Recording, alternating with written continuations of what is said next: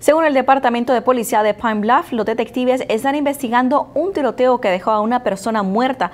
Poco antes de las 11 de la noche, los oficiales respondieron a Mosley Street después de que ocurriera un tiroteo. Cuando los oficiales llegaron, encontraron a un hombre tirado en el camino de la entrada, donde un forense adjunto del condado de Jefferson lo declaró muerto en la escena. Este es el sexto homicidio en Pine Bluff de este 2022. Cualquier persona que tenga información sobre este homicidio se debe comunicar con la oficina de detectives al 870-730-2090.